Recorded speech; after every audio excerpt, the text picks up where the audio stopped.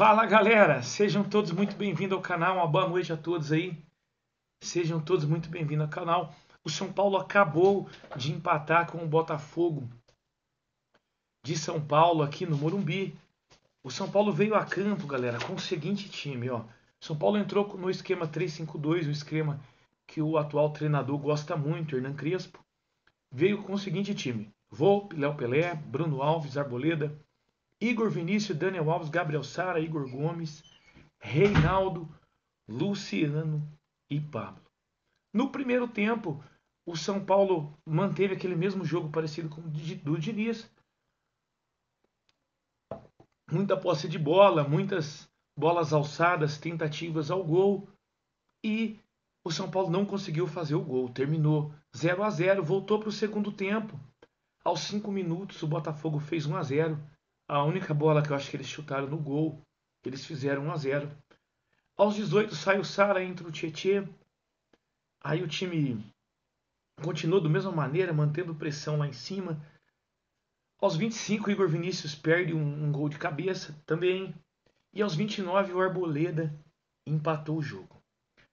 Aos 33 quase que leva o gol, Daniel Alves brincando ali na zaga perdeu uma bola, quase que o São Paulo leva gol. Acho que foi as duas únicas coisas que o Botafogo de São Paulo fez no jogo. Aos 37 saiu Igor Gomes, entrou o Hernanes no, no time do São Paulo.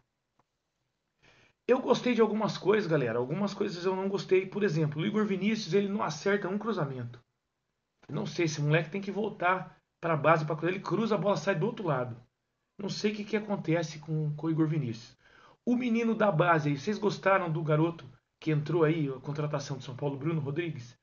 Eu gostei dele, acho que ele teve pouco tempo, mas ele mostrou ser um jogador aí que esse pouquinho tempo aí que vai ser interessante para o São Paulo aí, deu uma movimentada aqui, uma movimentada lá. Foi muito, foi muito legal assim a participação dele, errou um lance ou outro. Uma coisa me preocupou. Eu vi, a gente que já jogou bola sabe disso. Eu vi duas vezes ele livre, uma o Tietchan emendou pro gol, a outra o Igor Gomes não tocou. Isso aí é, é coisa de jogador que não quer passar a bola para o outro se destacar e entrar no time. Isso acontece muito na várzea. Tem jogador que ele não passa a bola para o outro, para o outro não tomar a vaga dele no time.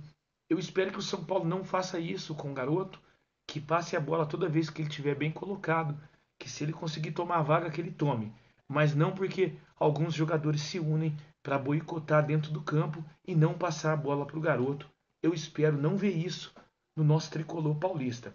Eu gostei muito da atitude dos jogadores do São Paulo. Eu acho que o São Paulo teve uma atitude diferente, foi um time mais aguerrido, embora não tenha ganhado, mas foi um time mais aguerrido do que os times que a gente vinha vendo jogar do São Paulo. A vontade de, de ganhar pelo menos nesse jogo, me pareceu estar muito próximo aí do São Paulo. São Paulo tentando ganhar a todo custo. Então eu gostei dessa, dessa movimentação de hoje para a primeira partida do campeonato.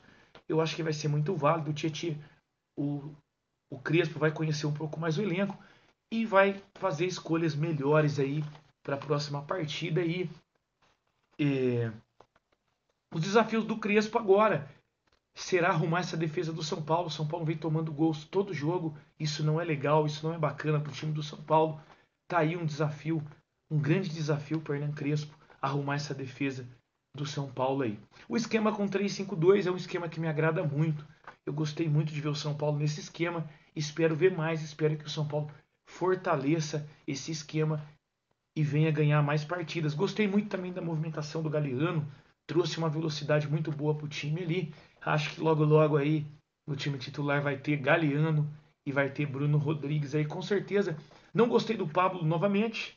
Acho que o Pablo toda vez que ele entra, ele precisa de 10 chances para fazer um gol. Ele ia fazendo um gol, mas perdeu um monte de chances aí que se fosse um cara com um pouco mais de qualidade, teria colocado as bolas na rede aí. Acho que o São Paulo precisa urgente sim ver a contratação de um centroavante aí para poder sair esses gols no time do São Paulo aí. Certo, galera? Nos encontramos no próximo jogo do São Paulo aqui. Daqui a pouco eu vou subir a live aqui. Vou subir ela com meu amigo Alex, sou mais tricolor. Aguardo todos vocês na live aí, certo? Tamo junto, é nós. Fiquem com Deus, uma ótima semana. Que Deus os abençoe. Antônio Gomes aqui. para o canal Papo de São Paulino.